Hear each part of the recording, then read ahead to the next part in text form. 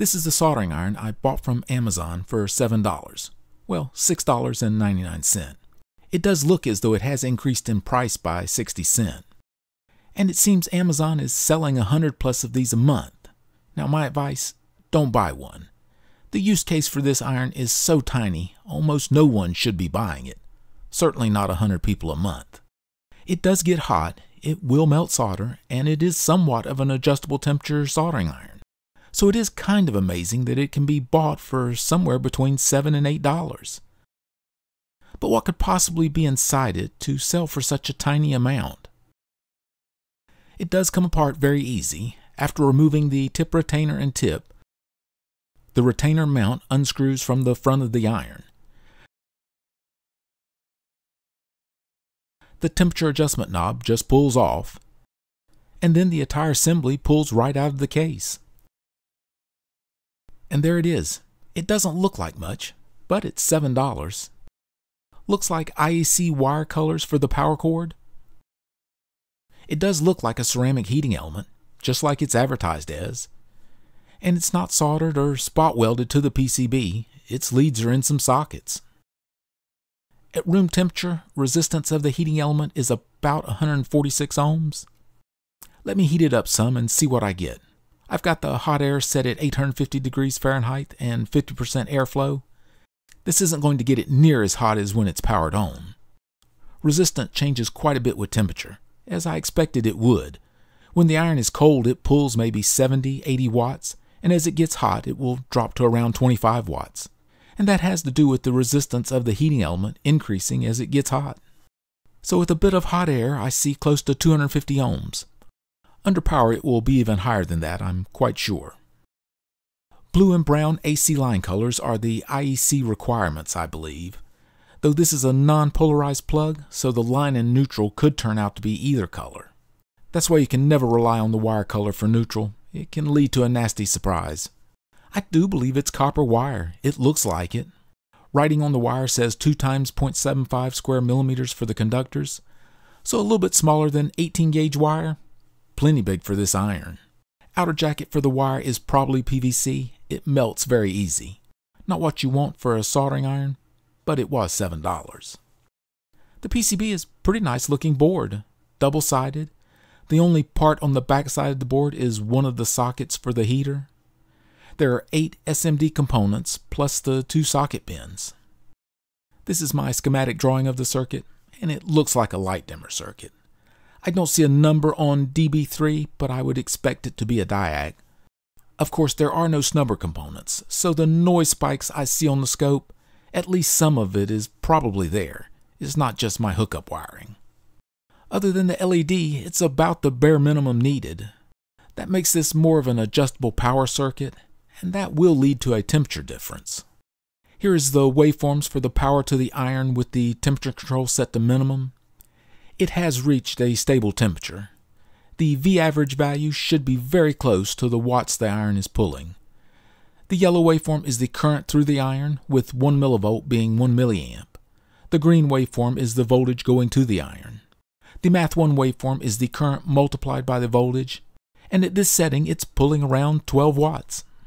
Now if I turn the temperature control up to maximum, power goes up to around 30 watts, but only for a short time. As the heater gets hot, the power continues to drop.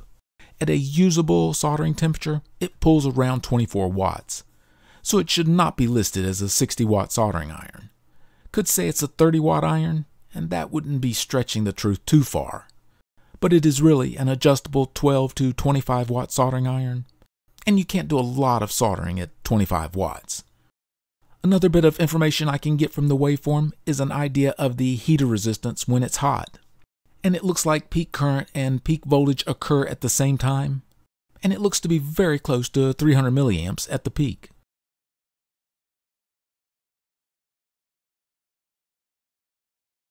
And the peak voltage is about 176 volts. Now there is a triac drop between this and the heater, but a volt or two is not going to make much difference. So that gives me around 580 ohms for the heater. Seems like a reasonable value. It looks like a nice ceramic heater. The only number on the heater is a 6 or 9. My guess is it's a 6. I don't see anything that might ID the manufacturer of it. You might think $7 could buy that. The thing is, $7 got this thing delivered to my door, and I'm absolutely sure most of the $7 didn't go to the manufacturer of this iron. I was curious what this thing cost wholesale. From seeing what's inside of it, I was thinking it has to be two and a half, three dollars, but then it would have to be more than seven dollars.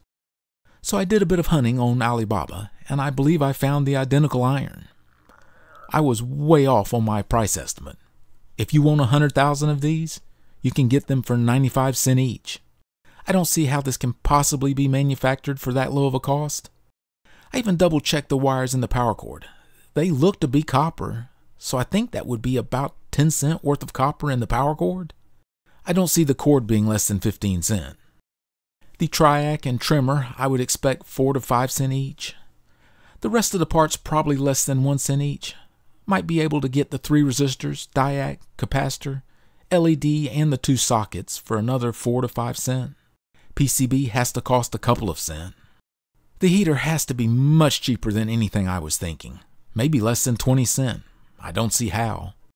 There is still the ABS case that has to be molded, along with the cord strain relief piece and a molded knob with a printed sticker on it. The sleeve where you hold the iron is supposed to be silicon, and it feels like it is, and I couldn't get it to melt even at 840 degrees Fahrenheit, so not a cheap plastic. And then all the stainless steel parts to hold the tip, not to mention the tip itself. The tip that came on the iron seems to be plated brass, again matching the Alibaba description. I don't see how it can be manufactured for 95 cent, let alone sell for 95 cent. But the journey is not over yet. The wholesaler has to get the shipment over to the US.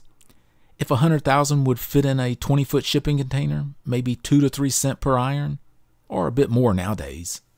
Then the wholesaler adds a stand, and I'm being loose with the word stand here. Adds a pack of 5 tips. The tips in the pack are different than the tip that came on the iron. They don't seem to be brass for one thing, so probably from a different manufacturer. Then put all the pieces in a box and get the boxes to the Amazon fulfillment centers. On the getting the product to the fulfillment centers, I don't think I've ever read how that works. If anyone knows, I would love a comment on it. Does the seller have to ship it to the different fulfillment centers, or does Amazon pick it up and distribute it themselves? I've never really thought about it. So, all in all, it's kind of a miracle can get a working soldering iron to your door for $7. Again, don't buy it. It's not a good soldering iron. It's an incredibly cheap soldering iron that I'm still a little puzzled about how it can be produced so cheaply. Thank you for watching.